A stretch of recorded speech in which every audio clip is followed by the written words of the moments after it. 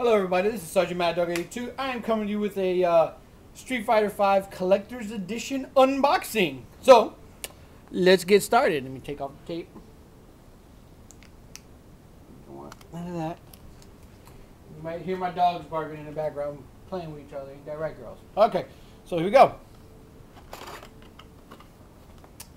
Let's see what we have here. Okay.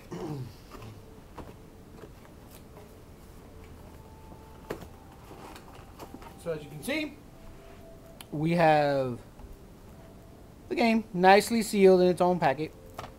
I've already put my code for Cammy.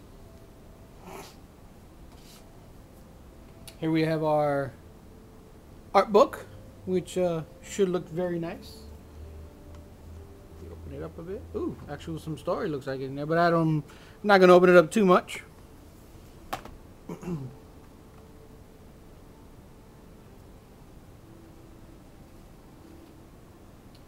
Here we have my music samplers. I'm not going to show you the code, but I will show you the nice pictures that it is. At least I can put these up in my glass cases. this should be, oh, use full statue body part. Let's uh, get this nice and built, everybody. Oh, I'm going to need a knife. Hold on.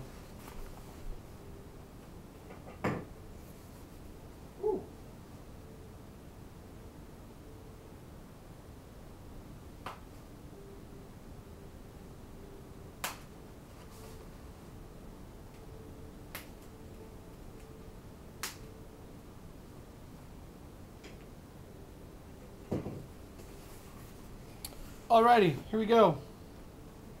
Let me get my stuff back. See, nice new box. Here we go. Start off with Ryu's feet.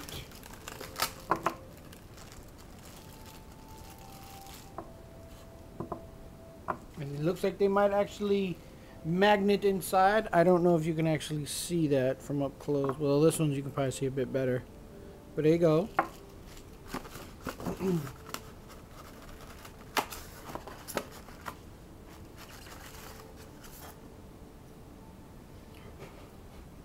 off all foam.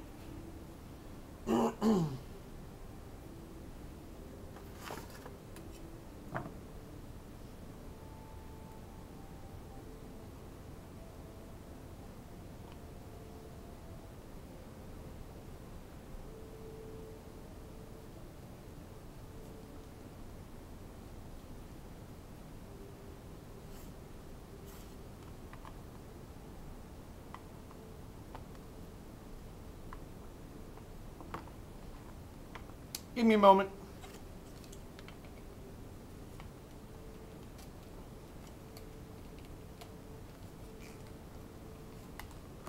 There we go. I do like the quality of the statue, except the base seems very plain. It's just a plain black, no actual highlights, no coloring.